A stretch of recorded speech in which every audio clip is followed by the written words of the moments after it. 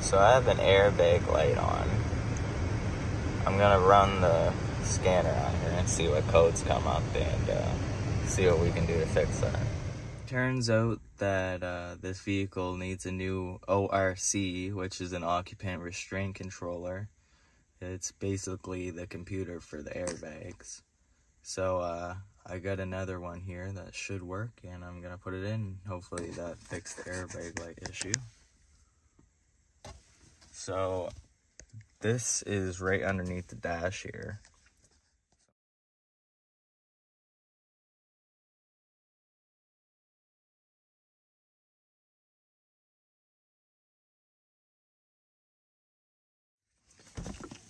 Before touching any of the electrical things, especially the computer itself, you want to disconnect the negative connector on the battery because you don't want to accidentally set anything off. Next, you're going to want to get the screws under here. So you lift this flap up and then you're want to unscrew the two screws here. After you get the two screws out, you can start lifting this up. Uh.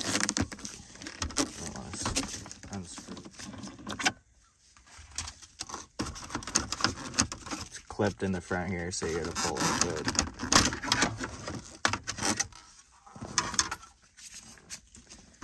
Alright, we're getting there. So to make it easier,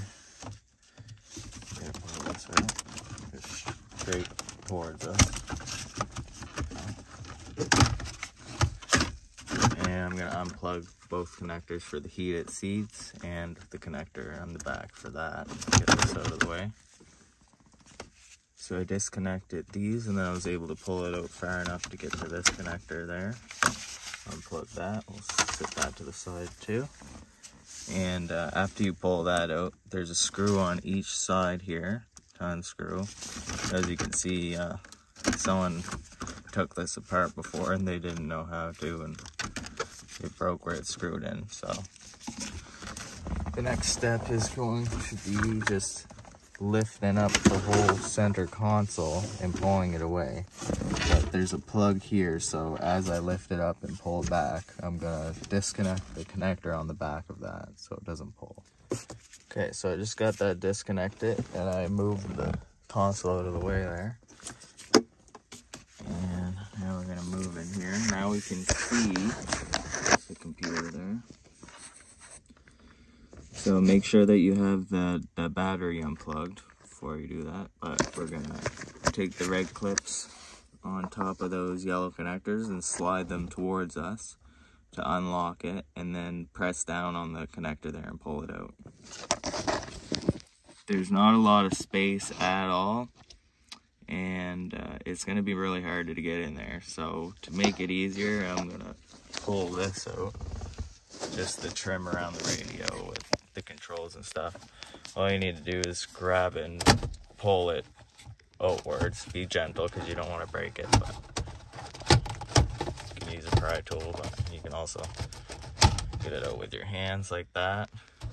And there's going to be a few connectors in the back that we're going to need a disconnect there. We can move that out of the way.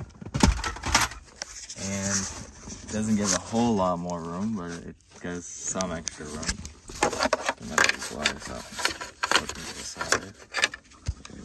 So now we can disconnect the connector there, and as you can see, there's like a rubber insulation around that. And uh, we're gonna have to take a razor blade and cut around it so we can lift the flap up to access the bolts to get this computer out of there.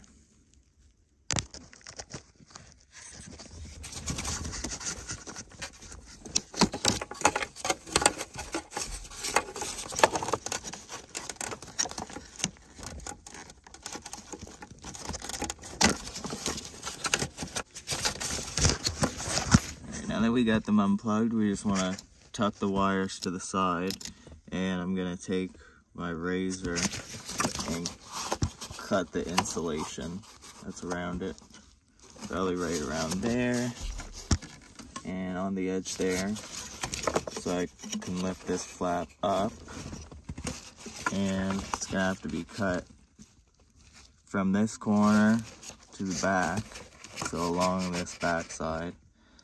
It's not gonna be the easiest thing to do, but it is possible. And to make it easier, I'm actually gonna move this black tube out of the way. So I'm gonna unscrew these screws and then I'll be able to lift it up out of the way. Now that the screws are off of this, I'll be able to lift this up out of the way. Put it outside, it's a little dusty. Okay, there's a little bit more room now, so I'm gonna start cutting this and then I'll show you the results.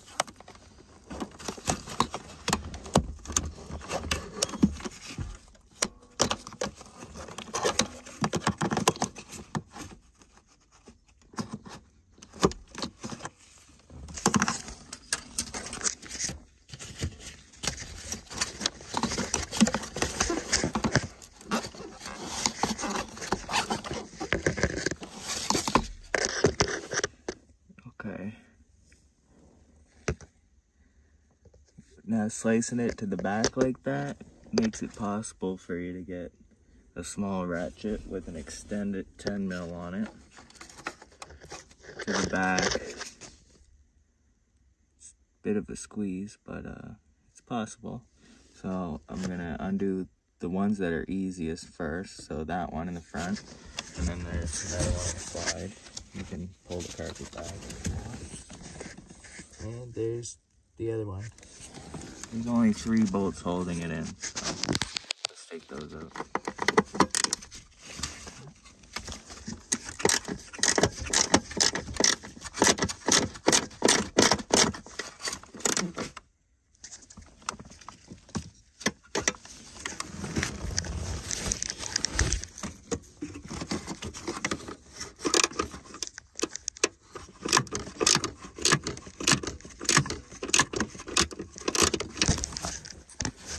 not really the easiest, but it is possible to get that in there and on the bolt. So I'm gonna start taking that bolt out. Okay, once you get all those bolts out, you should be able to pull this up now.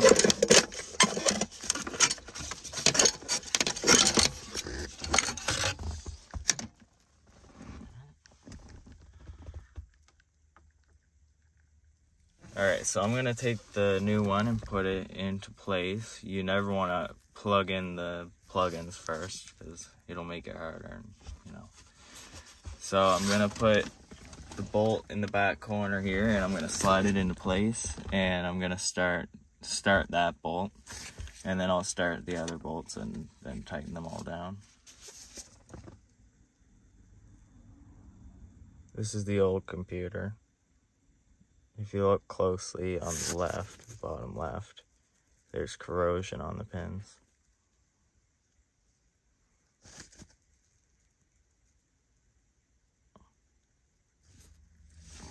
Alright, so I tightened all three bolts back into place.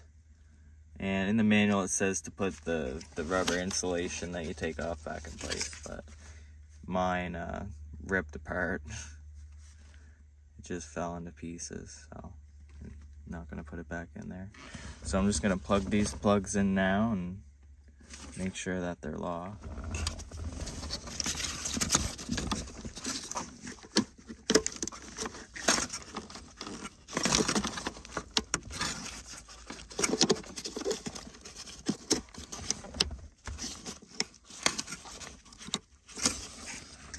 Alright, so they're locked into place there now.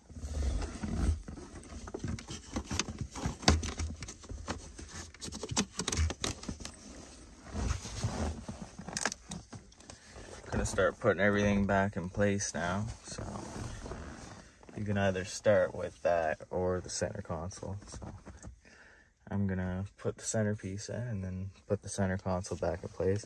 Remember when you lift the center console back in place to plug that back in. Yeah, after all the plugs are plugged back in, then you can pop this back into place. Just push it in until it's in place. There's clips on the top, middle, and bottom. Alright, so I just put the vent back in, screwed it in place. Now we're going to put the center console back. Alright, so I'm moving the center console into place. Make sure you plug in the plug on the inside here. Slide it into position. You're gonna wanna make sure these line up there so you can screw it back in if you still have the screws. And just gonna wanna make sure that the sides slide into place and then start putting the bolts back in here to secure that. All right, I got that bolted in there now, and you want to put the screws in there. You can put this in now. And now we're gonna put this part back in. You want to make sure these three connectors here are exposed. And then you can flip this into place.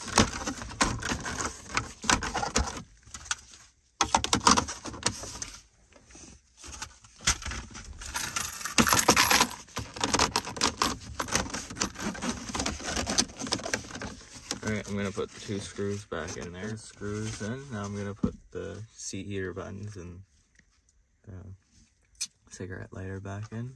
So you want to plug those in and then slide it in. Okay, I got it plugged in and back in place, so just push it in, clip it in place. Put this little cover right there. There we go. Last step to screw this back on. Alright, we're all back together now. So after you reconnect the battery, yeah, go ahead and start it up and see if your problem's fixed.